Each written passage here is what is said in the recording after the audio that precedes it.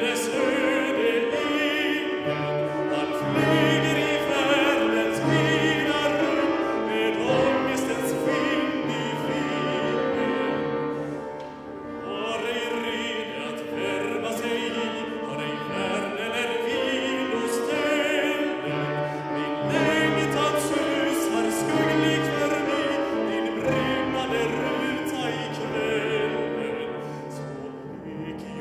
in its